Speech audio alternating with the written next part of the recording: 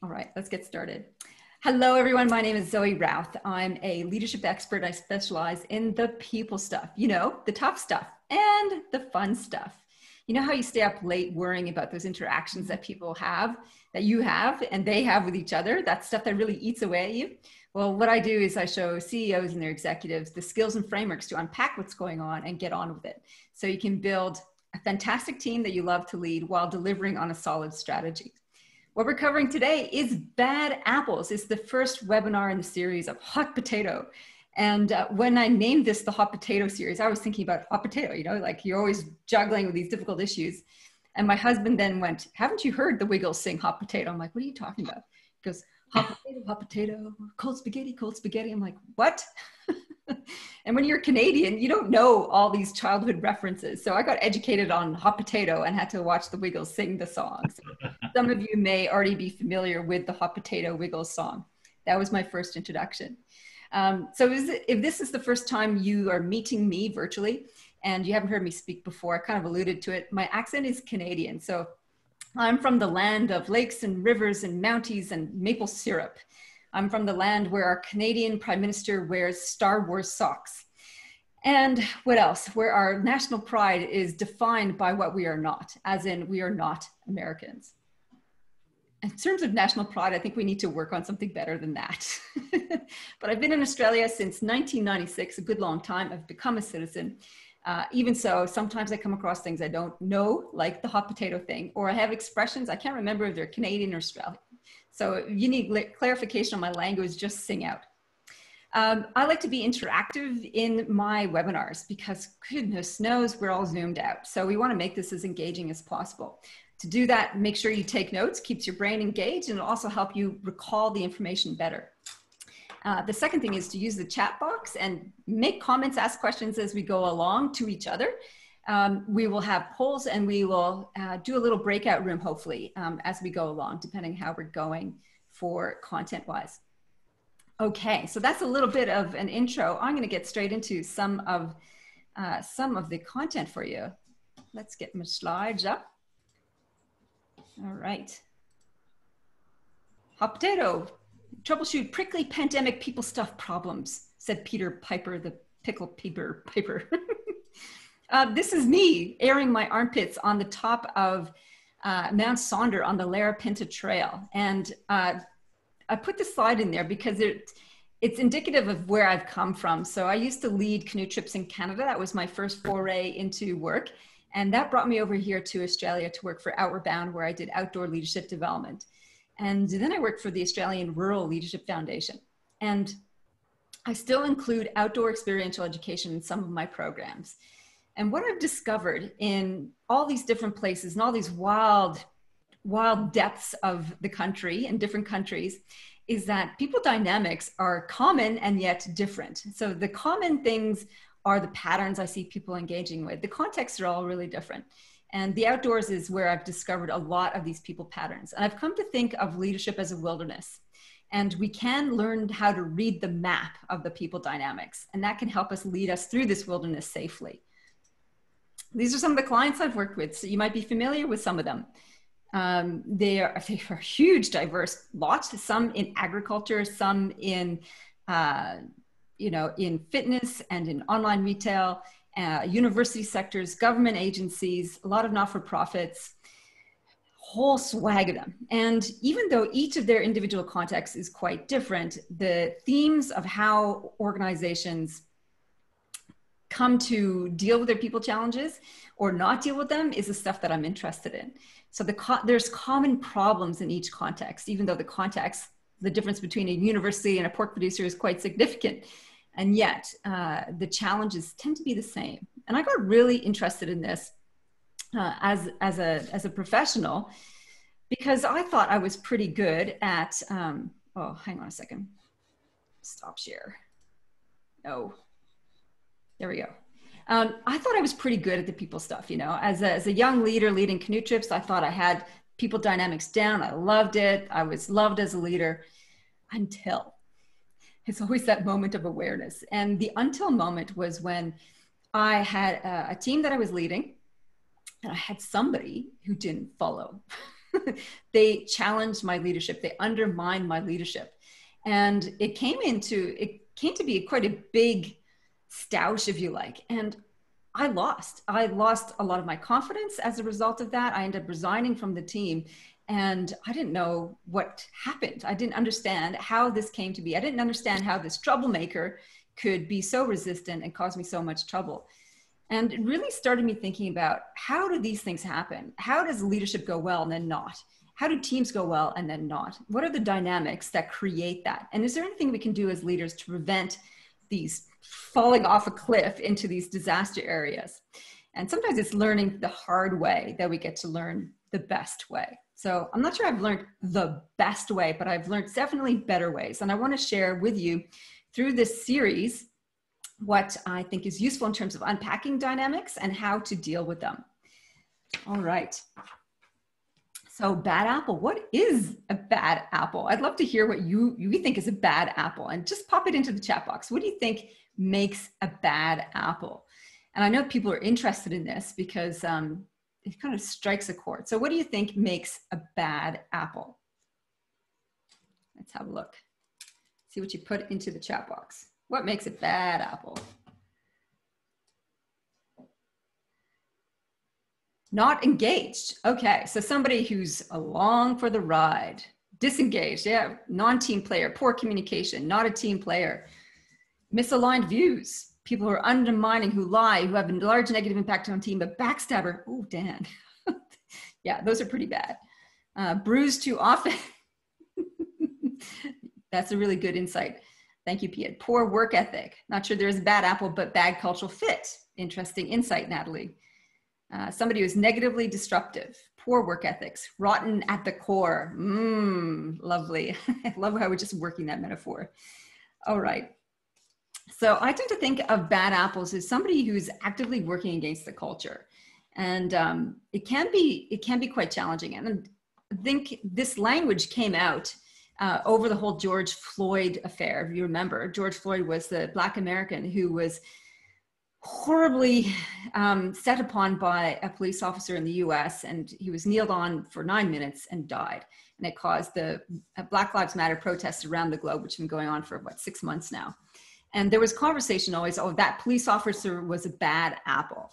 He, it was not indicative of the rest of the culture. And I think that's not the context in which we want to see this. A bad apple is not just a renegade necessarily. Uh, so bad apple is destructive behavior, and it can be any one of those bad behaviors that you've identified uh, in that. Thank you for the reference, Joner Nodar, Graham. I will look that up afterwards. Um, some of the behaviors we see with these bad apples or difficult behaviors, and some of them you've mentioned them, are things like back channeling, uh, side quarter conversations, grumbling, white anting. Um, silos can be a problematic bad apple behavior, defensiveness and aggressiveness and fighting. So we're going to unpack a lot of this as we go. But bad apples are the ones who are kind of putting on a they're getting under our skin, they're causing us distress. So we're going to look at some of the issues that contribute to that and what happens. So an interesting fact by the Society for Human Resources Management released a study in 2015 that calculated the cost of unhealthy workplace workplaces at $223 billion, American workplaces over five years. So unhealthy workplaces cost American workplaces in five years $223 billion in staff turnover.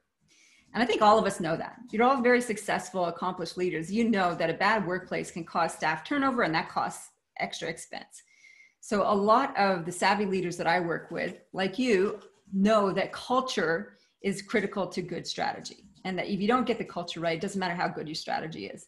So a lot of the work that we do around this is how do we set up the culture and the systems for success. So I think what's important when we talk about these issues is to understand our current context. And there's a lot going on in the world, as you might have noticed. and when we get familiar with what's going on, it sort of explains some of the dynamics. Big picture, prior, besides pandemic, is we have the old world of work. It's all about hierarchy, uh, line reporting, company paternalism. Uh, you have to be a company man. So like thinking about 30 to 50 years ago, right? The world of work was quite different. There was somebody, usually a man in charge. There was a line reporting. It was all hierarchical. It was all about the company looking after you, and therefore your loyalty to the company was being company man, and usually was a man. Loyalty was about loyalty to the company and uh, and about sticking around and being part of that company. Once you got a job, you just stayed in that one place for a very long time until you got the gold watch and retired, and the company paid your pension. You have to earn your stripes in this context. Now, the new world of work is quite different. The world has shifted significantly in the last 30 to 50 years. You know why. We've got internet connections that have unleashed so many different um, opportunities for us. We have globalism, we have interconnectivity, which is really amazing until it highlights our susceptibilities. Oh, and it was quite a stable work environment. Now, the new world of work is less about hierarchy and more about holacracy. Holacracy in workplaces now is about independent work teams having a fair amount of autonomy to make decisions for themselves in the greater picture of the organization. It's a very different structure around decision making. We have project reporting instead of line reporting. So it's because of the, the nature of the work is less stable and linear, it's more volatile and complex. We have a lot more self-reliance. So staff members coming into organizations today have a stronger sense of autonomy and self-responsibility. And they're more interested in purpose. And so workers today are really purpose people as opposed to a company man. And I think that's a really important distinction that organizations and leaders need to contend with. You know, what is our purpose? Does it resonate? Uh, does it attract the people that we want to work with us? And is there an alignment there? Some of you spoke to that misalignment of values and cultural fit is a big problem. It contributes to bad apples. Um, we have this wanting to make a contribution. So it's less about loyalty to the organization over a period of years and wanting to make a contribution within the context of that workplace. We need to show our stripes instead of earn our stripes. So a lot of Gen Ys and Gen Zs have had a very different education than I had. Uh, so as a Gen Xer, where um, we didn't have the internet in high school. so you learned a really different way. And the way that pe- young people are learning is quite exponential because of the technology access. They can get access to information and resources and backgrounds and histories like that Whereas in the old days, you have to go to the library, you have to do a bloody search in all these books and read up on it. It was very time consuming to get knowledge, let alone wisdom and application. So young people have a huge different expectation about um, the world of work. And they definitely feel like they need to be acknowledged on merit as opposed to on longevity in the place. And it's volatile. We know that. Like this year, more than anything else, has highlighted how different this is. So we have new staff members who have this paradigm of the new world of work, and we have an old way of working in the organization. It's going to cause stress and angst. It's going to cause conflict, and some bad apples can result from that. Different expectations to the work environment. Now, I'm not sure where each of you sit, where your organizations, if they're more in the old world of work or whether they're oriented to the new world of work. And I think this is an interesting thing to have a think about when you think about your bad apples, is it because there's a misaligned expectation of new world of work versus old world of work? This is an interesting uh, concept as well. Like in the new world of work, crowdocracy is something that many organizations are moving to. This is slightly different to democracy, where everybody has a vote on something, which not many organizations do. And yet, with leadership of crowdocracy, this is where every individual in the organization can contribute to solution making sounds like a decision making nightmare because like if everybody has a voice in a big issue how do you get things resolved there is a process that you can apply so that this actually happens and it creates better buy-in. And i would point you to ooh i've forgotten his name a gentleman who's i interviewed and his name has just gone out of my brain. His resources if you just look up crowdocracy his book is on that. And it outlines his whole process of how you can get people involved in decision making and it creates much much better buy-in so what is a bad apple it's somebody who causes problems and i think the other thing we need to be mindful of is like is it a good kind of troublemaker or a bad kind of troublemaker a good kind of troublemaker is somebody who challenges the status quo somebody who says hang on a minute what if that's very different to somebody who's whinging and backbiting and undermining and uh, having turf wars and, and, and silos and is emotive and distressing to be around. That's different. So a troublemaker who's who's a bit of a devil's advocate can be actually really healthy for the organization. So we need to be mindful of that, that we don't just pe- label people bad apples because of their challenging attitude. Sometimes that challenging attitude is really, really useful. So a couple of trends. Retaliation in the workplace. Oh, this is one of the reasons why people find it difficult to speak up and can cause bad apple kind of behavior is that with the movement of things like the Me Too movement and Time's Up and even Black Lives Matter, there has been real retaliation for people raising these issues in the workplace. Uh, they can be ostracized, isolated, they could be stood down, they can be marginalized, they can lose their jobs. And so this is a real problem if we're trying to get to the bottom of an issue and the bad apple is grumbling in the background and doesn't feel safe to actually air their grievances. So retaliation in the workplace is kind of this big backdrop that we've got around what's happening for people. Um, should they say something or not? Sometimes it's easier just to have a whinge uh, to your friends and to operate behind the scenes to try and make a change or at least have a grumble about it. So this is a contributing factor to bad appleness. Another one is bias. Um, there are thousands of different biases we have in the workplace. And some of the ones we've been noticing have come up in the fore um, that is problematic and gets in the way of people of leaders engaging their teams better is things like confirmation bias. We get an idea about a person or a situation, and then we look for evidence to back that up. You know, so we think, oh, Joe, Joe is such a troublemaker, or Joe's just a negative ninny. And then all of a sudden, we find ourselves subconsciously looking for examples of that to reinforce that belief. We all fall prey to this because it feels good to have our beliefs affirmed.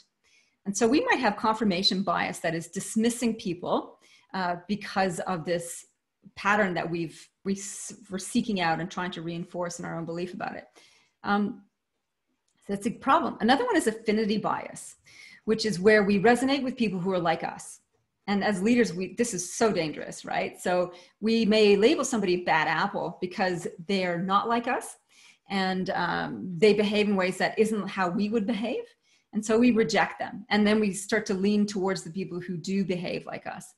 So it's a pretty troublesome one. Again, it's all subconscious until we put a flashlight on it and have really have a look at it. So some of these things create bad apples as well. So it further isolates and ostracizes people because they're not like us, the leader.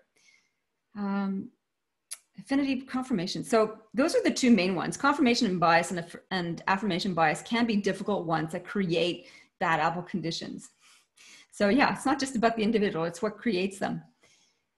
And this is the other trend that we've noticed is that recognition is actually a key driver of people's engagement. Uh, Dan Pink wrote a book called Drive, and in it he listed three things that he thought contributed to engagement at work. One was purpose, another was mastery, so mastery of a skill, and the third one was autonomy, the ability to make decisions for yourself. OC Tanner did some work in 2016, and they added to that. And what they found in their research when they asked people what makes a great place what, makes work great was the question. And overwhelmingly, the standout response was recognition. Now, if we're not giving people enough recognition, then disengagement happens. There's a lot of depressing, depressing? Mm, that's not quite the word, right word.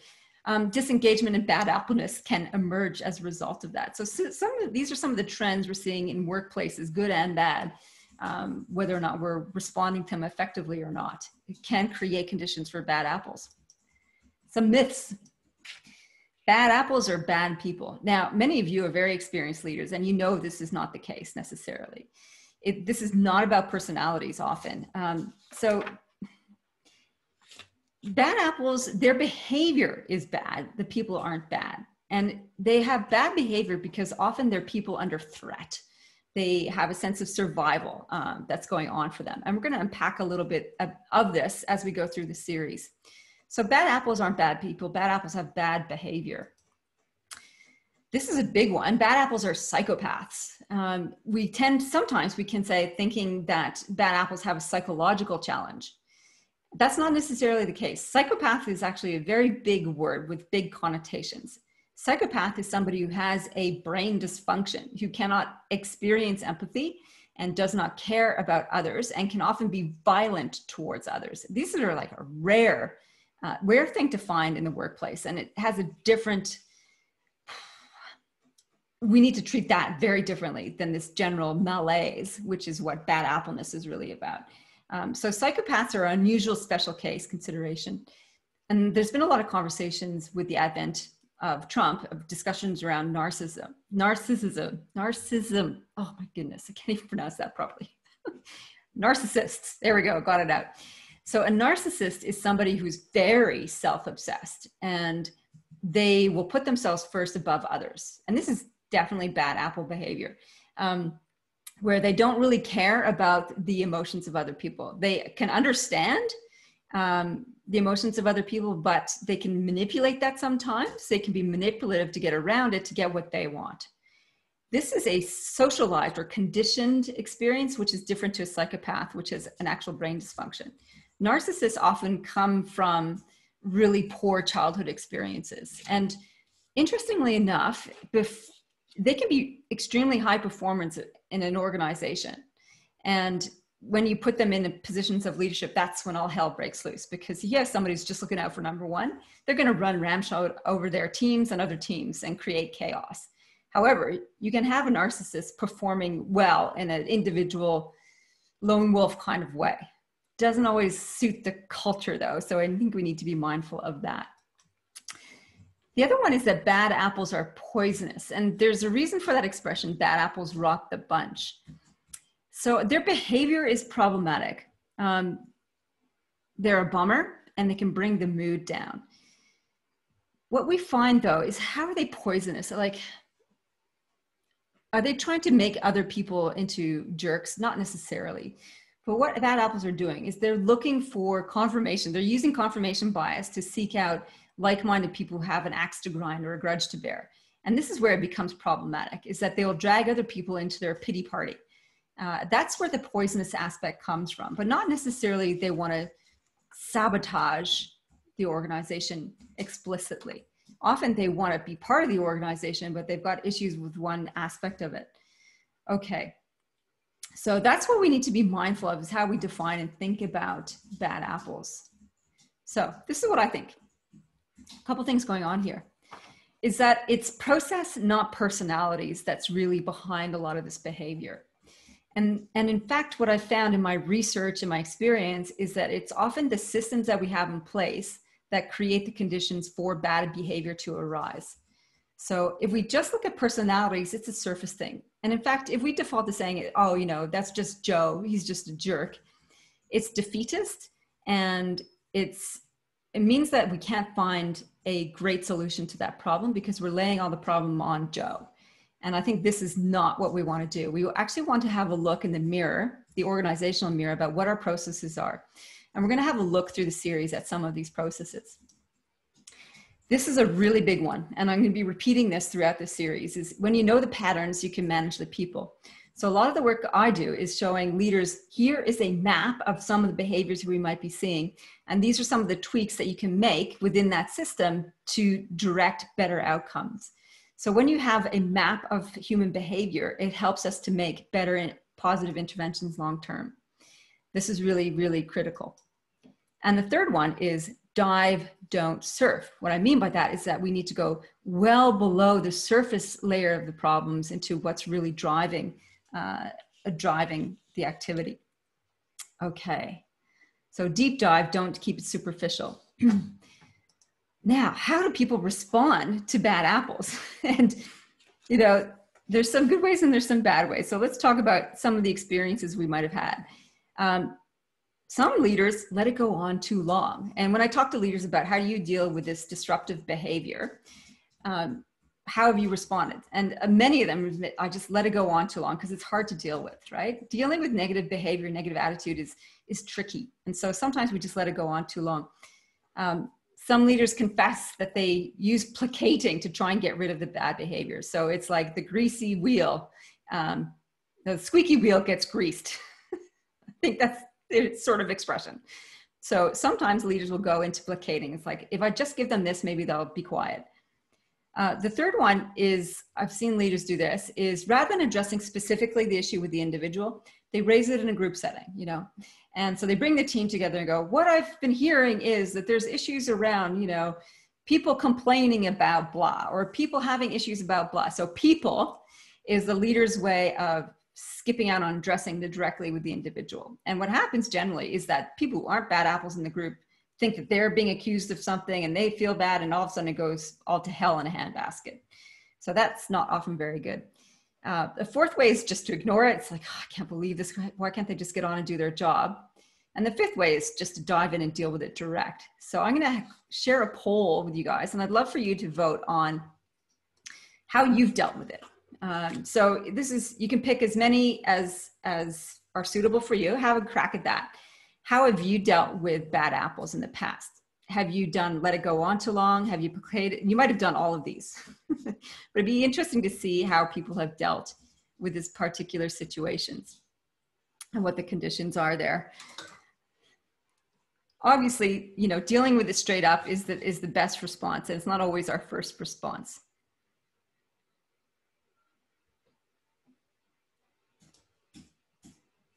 Okay. All right, another five or so seconds, give you all a chance to vote. Okay. And we are closing the poll. And let's see. Okay. Awesome. Look at that. You might have dealt with it badly the first time, but many of you say just deal with it straight up. yeah, that's the best way to go. Um, interestingly, after that, in terms of things letting go on too long, yeah, yep. So very few people have dealt with, um, you know, trying placating or raising it in the group and having it backfire. Yeah, that's the worst one, I think. Um, I'd love to hear what other is. if anybody clicked other and you'd like to share, that would be awesome. Just unmute yourself and let me know. Go ahead, Graham. Hi, Zoe. Um, in a couple of cases, through um, a mentoring, through actually sort of taking a, a, different approach where you can see that the person's capacity is there and you, with their permission or not, is to just try and mentor them and show them um, what their behavior is like if, if you can sense that they that they're open to it. And on both instances that i can recall it's worked. Yeah fantastic. So yeah taking a mentoring slash coaching approach to yep. help them open up to new ways of being and seeing. Lovely. Thank you.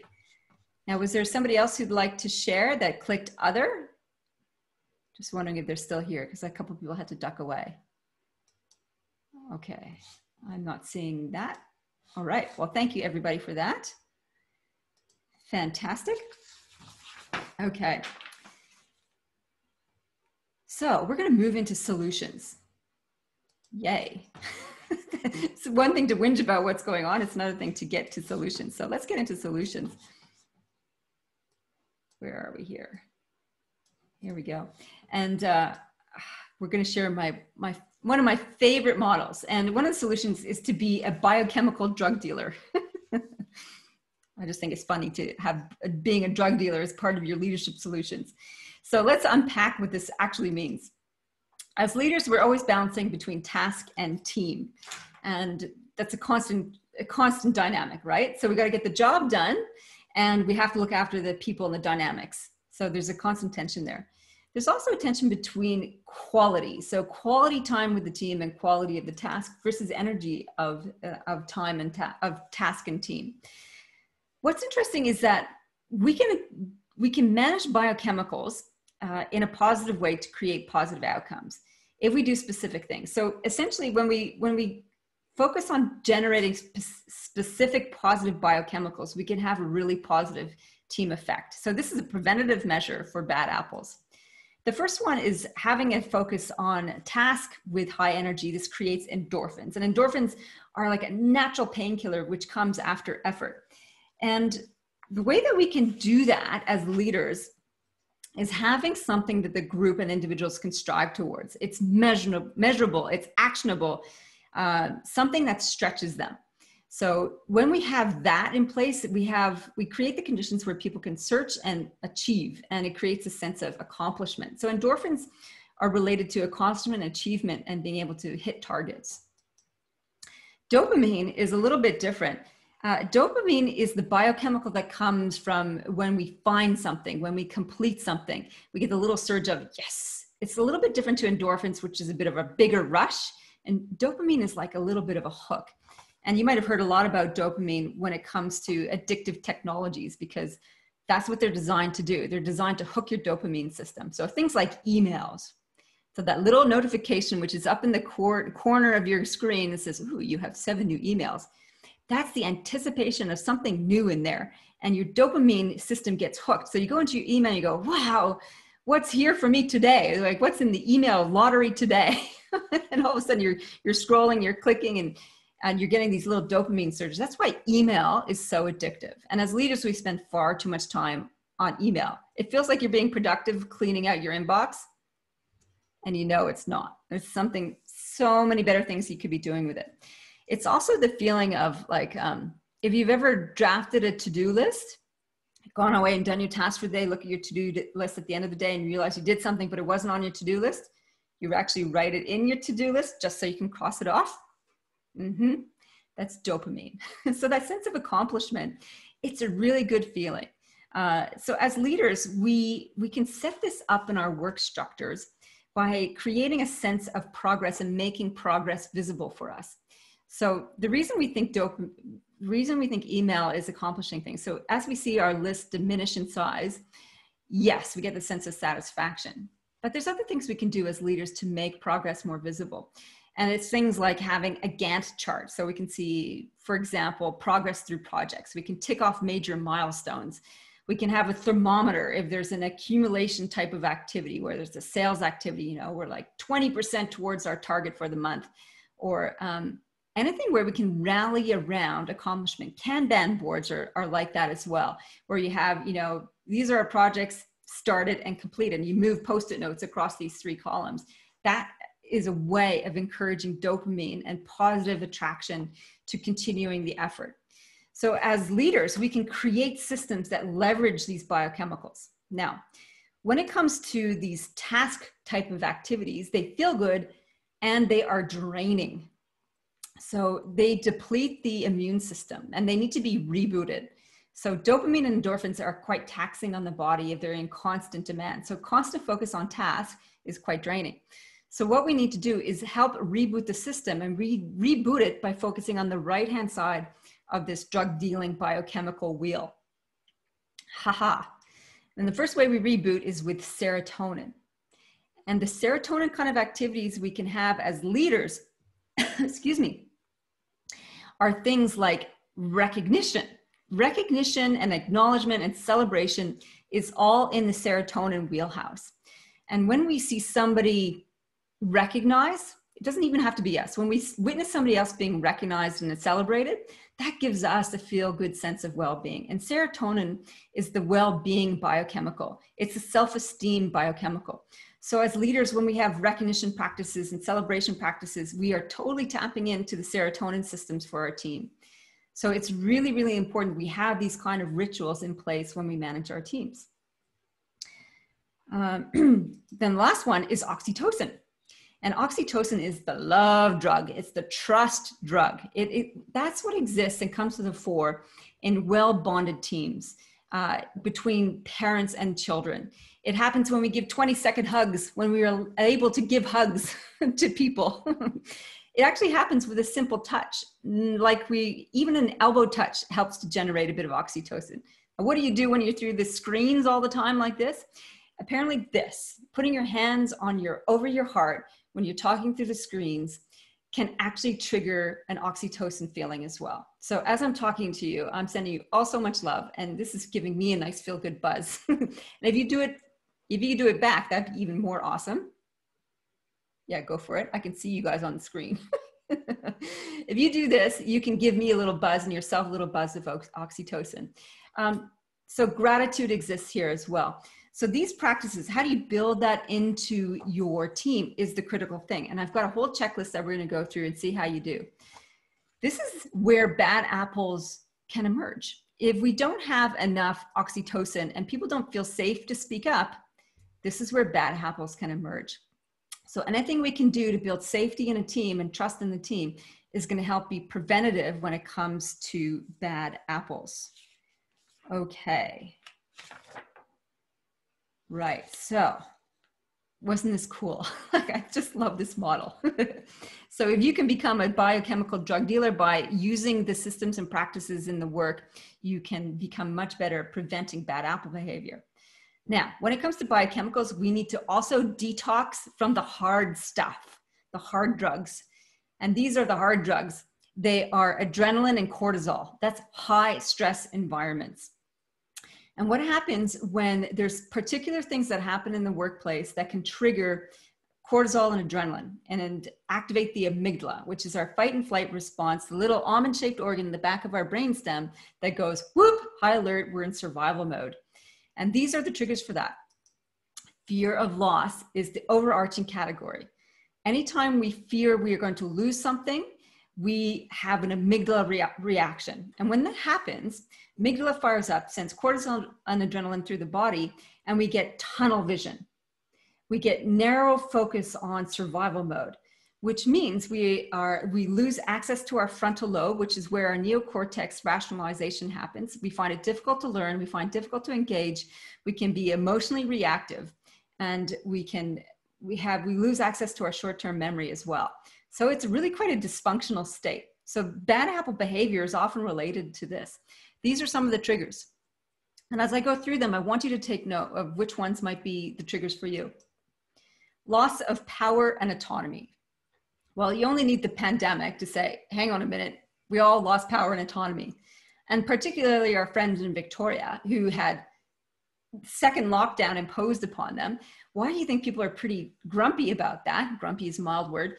Um, distressed by that is because they lost their sense of power and autonomy in their own world. You can't go out past what is it, nine o'clock now. You have to stay restricted in your home. It's quite harsh. And this so this puts people into an amygdala hijack and unhelpful kind of state of being. This all this uncertainty uh, in the pandemic causes some of this distress behavior. The second one is loss of position and status.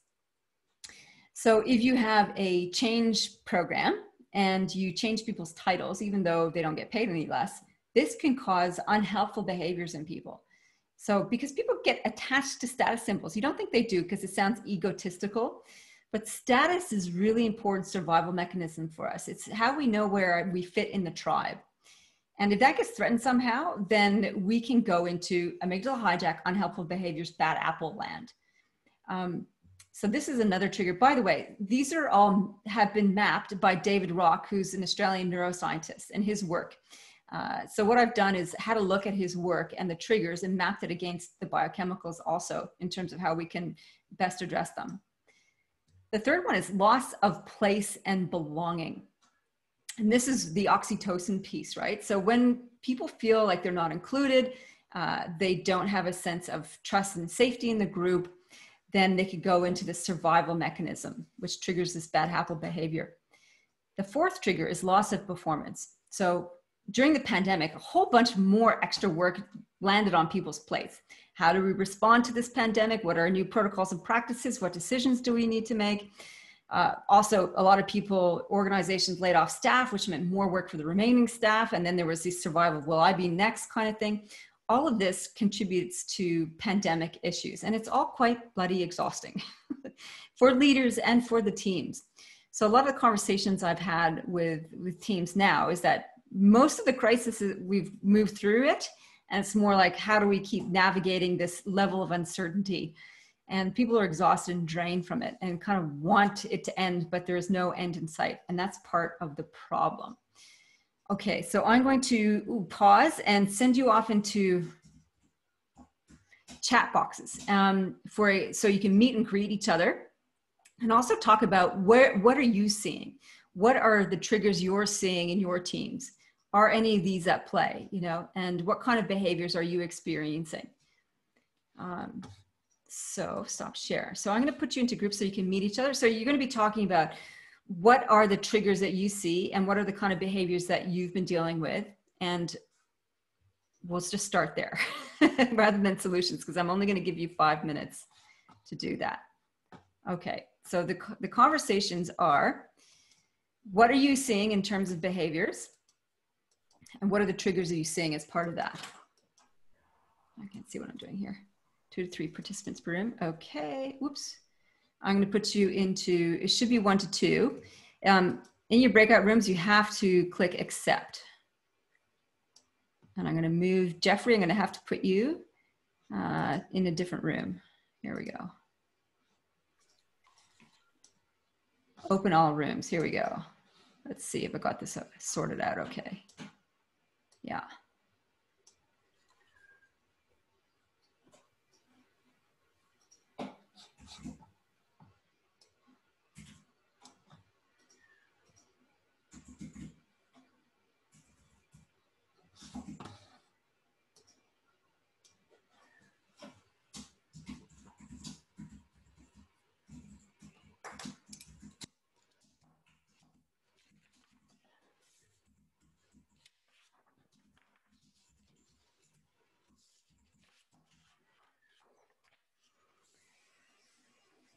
Cool, press pause. Recording. And we are, um, what we're gonna do next, uh, actually it would be really cool to, to hear if there's anything that you'd like to share with the group. Uh, pop it into the chat box in terms of what came out of your conversation in terms of patterns that you're seeing. So feel free to pop that into the chat box. Um, what we're going to go through now is a little bit of a checklist and see how you're going. And I was looking at the checklist. I'm going to read it through with you. So it's a little bit of an audit uh, to see how you go with this. And the checklist is seven habits for boosting, boosting oxytocin and trust.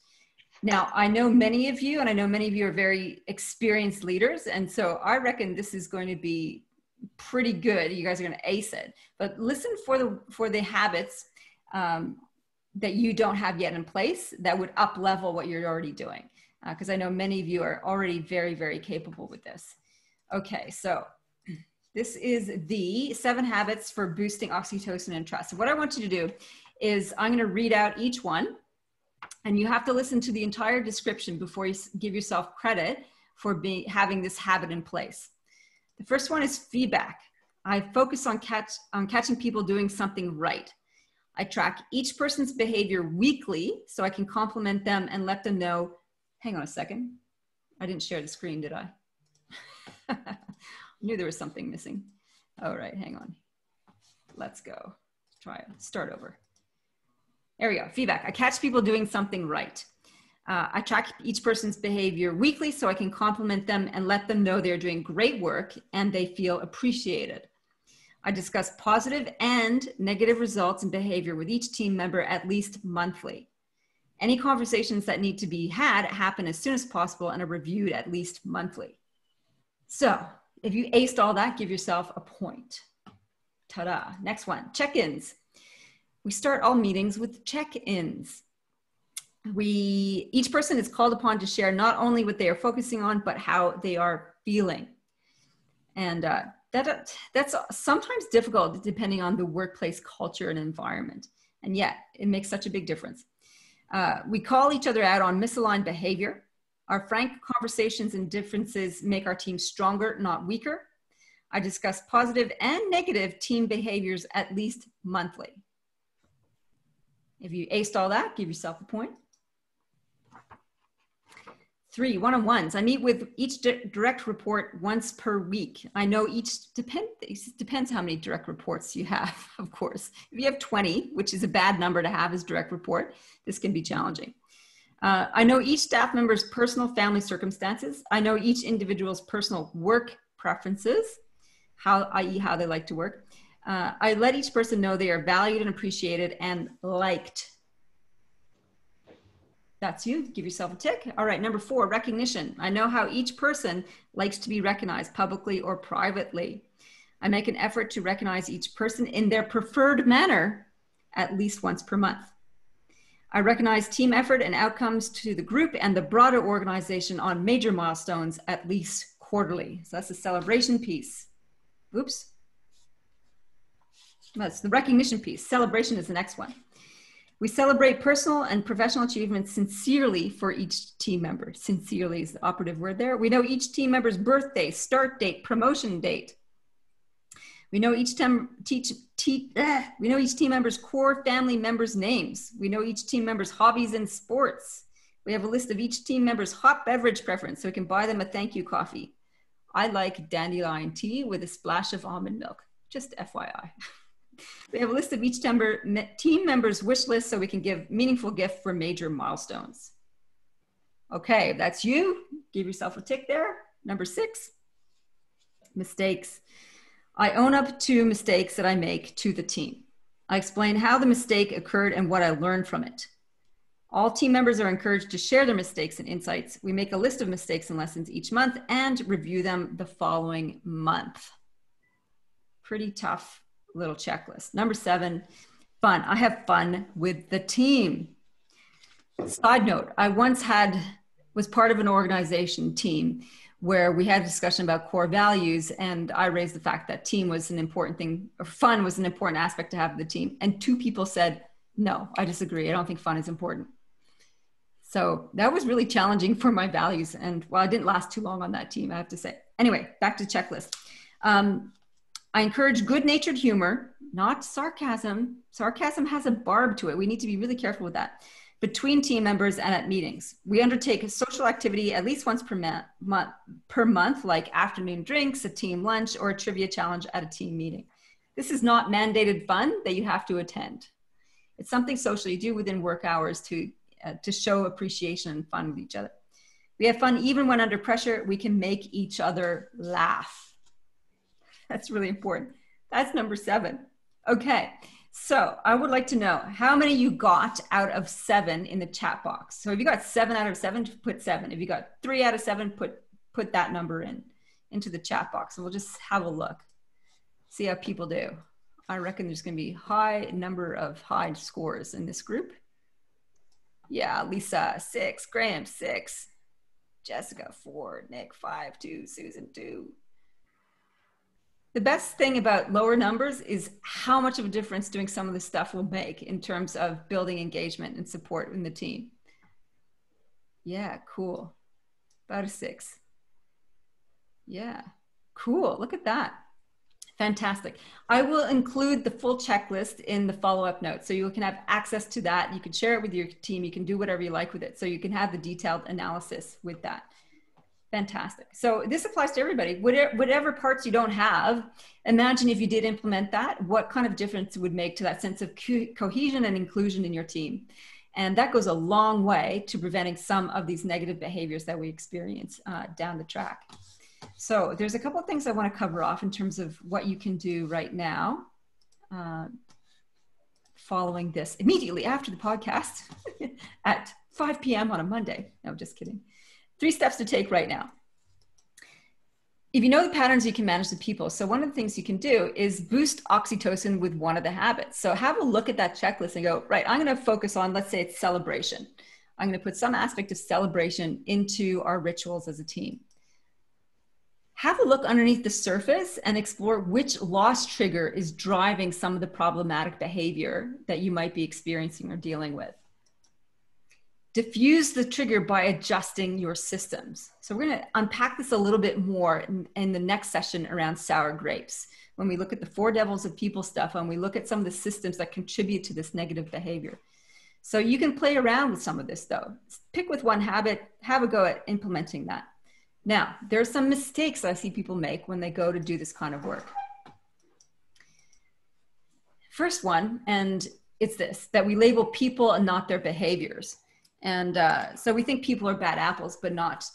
But what we really need to do is label the behavior as bad apple ish, which is awkward language. This is a really key distinction because often what drives people is the systems, the processes, not their personality. The other thing I see is that leaders don't manage biochemicals effectively. You really need a balance of all those biochemicals around the wheel, uh, not just the task oriented ones. And this is often the default I see is that a lot of leaders are good at the task side of things, not necessarily always good at the team side of things. And you need a balance of both. It's not one or the other, it's both. We assume that we don't get triggered ourselves. All of us are biochemical bags of soup. And so we will get triggered. We will have the same similar loss triggers uh, happening for us. And when we put the mirror up, it's important to know where ours might get triggered in conversations, in situations. And I've seen this with how leaders are responding in the pandemic. Some have been hit harder than others because they have sensitivities around uh, uncertainty or loss of position or status or whatever, or fairness or whatever it is for them.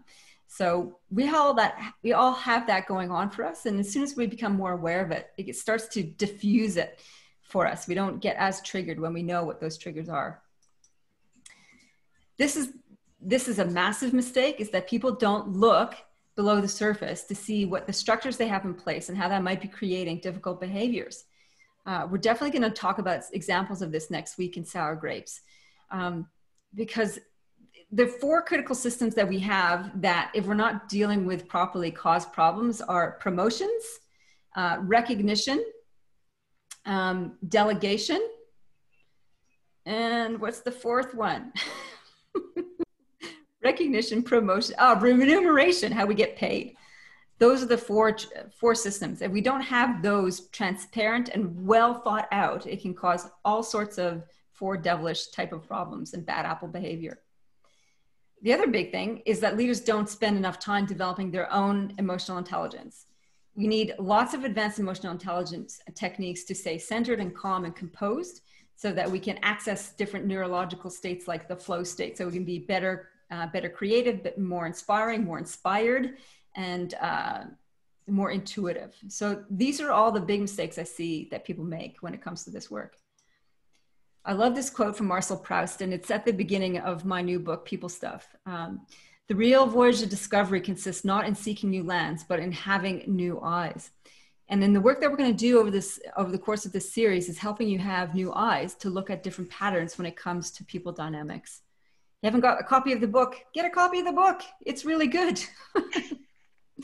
Can I say that? it's gratuitous self promotion. It's really helpful. Um, I wrote this book because I really wanted to help give different lenses for people uh, to look at these people dynamics. Okay, so we're, oh, look at that, exactly on the dot. That's so good. Um, so thank you everybody for participating. I can hang around a little bit if people want to have individual chats and want to clarify anything. Uh, if you, before you shoot off, I'd love if you just dropped into the chat box what was most useful for you and what was a key insight. That would be fantastic. Um, we will send the recording out after this with, along with the checklist and we will be catching up next Monday, same time for sour grapes. So I'll officially sign off. Those who want to stay for a chat, be great. Before you sign off, pop into the chat box what you got out of it. That would be fabulous. All right, so stop recording.